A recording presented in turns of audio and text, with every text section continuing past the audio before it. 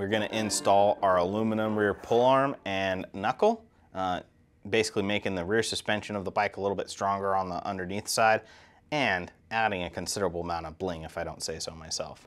So let's go ahead and pull off the stock parts and install the aluminum parts and we'll get started right now. So I'm gonna go ahead and grab the bike. I think the easiest way to do this for myself is to turn the bike on its side here. Um, we basically need to pull this knuckle off and this pull rod and we're gonna start by removing the hinge pins here. There's two uh, M2.5 screws, so use your one millimeter, 1.5 millimeter hex driver here and pull off these screws. They basically act as caps for the hinge pins. And then we can use our two millimeter driver here and take this pin screw out that actually connects the pull rod to the knuckle. And now those parts are kind of separated.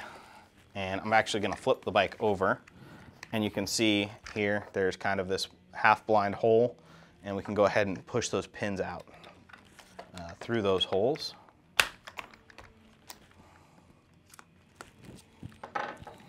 And when we turn the bike back over, those pins are most of the way out. And we'll just pull them the rest of the way out. There's our pull rod, and then our knuckle is still connected to the shock. So you can see the bottom shock screw here is still connected in the knuckle. So we'll grab our two mil and pull that screw pin out and our knuckle. So move the bike over to the side a little bit. So we have our uh, knuckle here and our pull rod. Got the aluminum versions. So we just need to pop these bushings out. There's four bushings in the knuckle and there's two here in the pull rod. So I'll just grab my 1.5, just kind of push those out.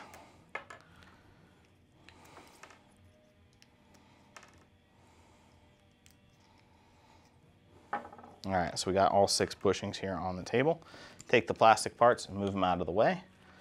Take our aluminum part here and we'll put those bushings in.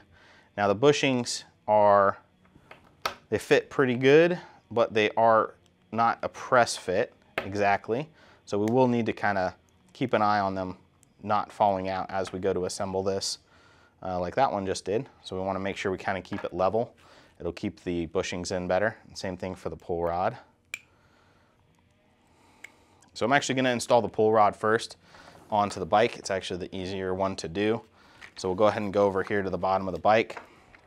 Now there's two different sides here. There's a threaded side and an open side with no threads. It's actually a larger diameter. So to keep the bike assembled the same way, we want that larger diameter here on the left. So we'll basically slide this up into the gap there and that lower skid plate and then we'll run this hinge pin in the hole and we'll just get everything aligned and then this hinge pin will run through the part, through the bushings and over to the other side and then we'll grab our M2.5 screw and our 1.5 driver and just lock that pin in.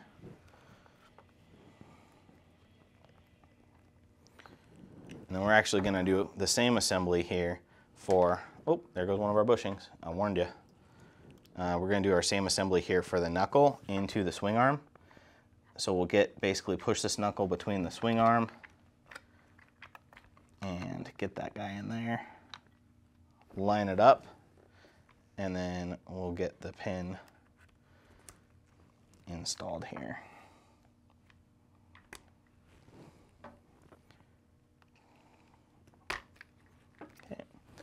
And then we'll grab our 2.5 millimeter screw and our 1.5 driver.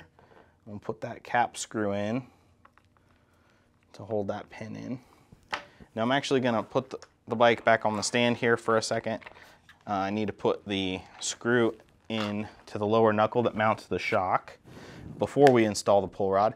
So we have two pin screws here. You can see we got a short one and a long one. The short one's for the shock, the long one is for the suspension uh, connect where the pull rod connects to the knuckle. So we'll kind of get this shock lined up and we'll put this pin screw in. Now we definitely want to put a little thread lock on this guy. So we'll grab our TLR lock here and Also a good idea to clean the screw before you apply the thread lock. So we'll grab some Dynamite Magnaforce 2 here and just spray a little bit on the rag. And then I will grab this two millimeter driver and just run the threads through. Make sure they're nice and clean. So you can see a little bit of dark spot there. And we'll apply some thread lock.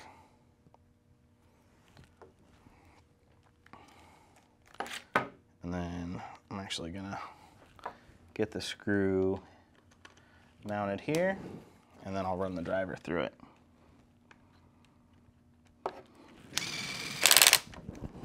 All right, now we can swing back over to the other side and now we just wanna make sure that we still have both bushings here in the bottom of the knuckle and we do and that's all lined up. So we'll pull our pull rod up until those holes overlap and intersect and we'll put our pin screw in and we'll do the same thing as the other one where we'll clean the threads.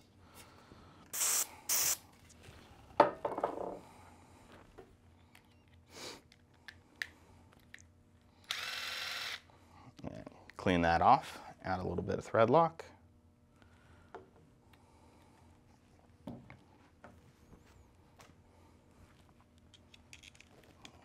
And run that pin into the parts and then tighten it down here with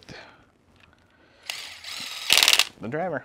And now we have our aluminum pull rod and knuckle installed here on the bottom of the Promoto MX and we're ready to hit some big jumps and land them too.